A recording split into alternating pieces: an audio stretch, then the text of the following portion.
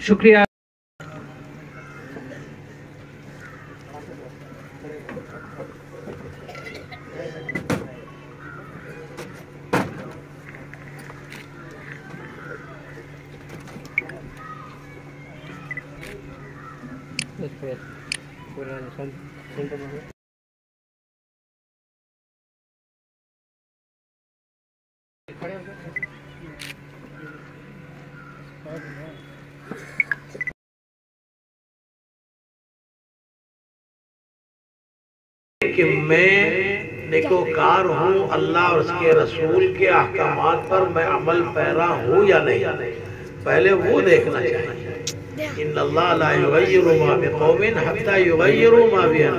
यहाँ अल्लाह उस वक्त तक लोगों के हालात नहीं बदलते, जब तक कि वो खुद लोग दुरुस्त न हो जाए। अपने आप को अगर वो सुधारते हैं, नेकोकार बनाते हैं तो अल्लाह रब्बुल इज़्ज़त उनकी मदद फरमाते हैं, उनकी नुसरत फरमाते हैं, हर तरीके से अल्लाह रब्बुल इज़्ज़त उनको इज़्ज़त और मुआज- और बहुत ही मुकर्रम बनाता है। आजकल हाल यही है कि हम सब एक हो जाएँ, मुत्तहिद हो जाएँ, मुत्तफिक हो जाएँ। हम अपने आपस के इख्तिलाफात को मिटमा लफज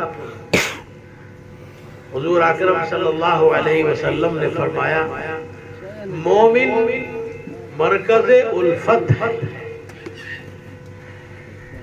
मोमिन उस शख्स को कहते हैं जिससे मोहब्बत की जाए, उल्फत की जाए और लोग उसके अखलाक को देखकर उसके अतराफ जमा हो जाएँ और उससे मोहब्बत करें, उल्फत करें। और अगर किसी के अंदर वो उल्फत नहीं है, न दूसरों से उल्फत करता है, न दूसरे उससे उल्फत और मोहब्बत करते हैं। तो हुजूर अकरम सल्लल्लाहु अलैहि वसल्लम ने फरमाया कि ला खैर। ऐसे आदमी के अंदर किसी किस्म का कोई खैर नहीं है। हम दूसरों से भी उल्फत करना चाहिए और हम ऐसे बनना चाहिए कि दूसरे लोग हमसे मोहब्बत करें।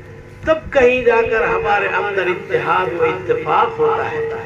अगर उल्फत नहीं है, इख्तिलाफात पाए जाते हैं, एक दूसरे से दूर रहते हैं, आपस में हसद जलन और फिर और एक दूसरे की गीबत, एक दूसरे के खिलाफ बोलना उसके पीछे। अगर ये कैफियत अगर हमारे दरमियान में रहेगी तो ज़ाहिर बात है कि खुदा करीम की तरफ़ से कोई मदद और नुसरत नहीं आती। तो उसके लिए हमें चाहिए कि कुरान और हदीस क्या कहते हैं, उसको हम हम मालूम करें करें। उसके लिए ऐसे मदरसों में आए और हम यहाँ जो मुदरसिन किराम तदरीस का की खिदमत अंजाम देते हैं, उनसे अलग से वक्त में आप इस्तेफादा करें और मालूम करें कि कुरान का पैगाम क्या है। और हदीस में सरकार सल्लल्लाहु अलैहि वसल्लम ने हमको क्या बात इरशाद फरमाई हम किस तरीके से सच्चे और पक्के मोमिन बनकर रहे हैं। हम सुनते हैं, ज़रूर सुनते हैं, लेकिन उसकी तरफ़ हमारी तवज्जो नहीं होती और फिर उसको अपनी ज़िंदगी में ढालना और उसके मुताबिक अपनी ज़िंदगी को बनाना इसकी फ़िक्र नहीं करते। खुद भी इस मदरसे की तरफ़ मुतवजह हो और अपने बच्चों को भी इस मदरसे की तरफ़ मुतवजह करें और इस मदरसे में दाखिल करें। मुझे मालूम होकर वो बड़ी हैरत हुई। कि यहाँ जो तलबा पढ़ते हैं, वो सिर्फ़ बाहर के तलबा पढ़ते हैं, बस्ती के तलबा बहुत कम न होने के बराबर।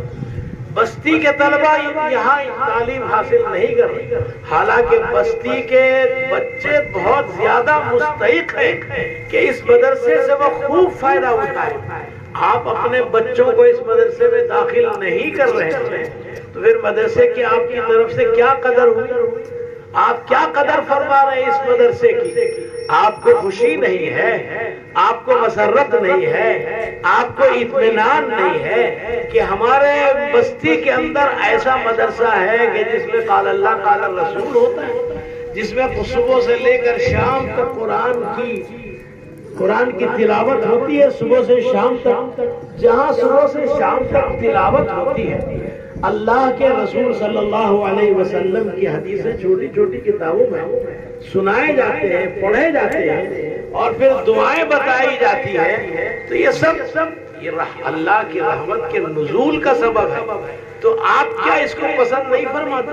कि जिसकी वजह से आप अपने औलाद को इस मदरसे में दाखिल करें? आप अपने औलाद को इस मदरसे में दाखिल करें और कस कसीर तादाद में दाखिल करें। अगर इस मदरसे में अगर आपके औलाद, यहाँ के रहने वाले लोग अपने बच्चों को दाखिल करते हैं और फिर वो कुरान पाक को पढ़ते हैं और कुरान को अपने सीने में उतारते हैं, पक्के और जयीद हाफिज बनते हैं कारी बनते। हैं फिर उसके बाद यहाँ अगर आलिमियत का शोभा खोला गया, यहाँ अगर खुश नहीं होना चाहिए, बल्कि खुद अब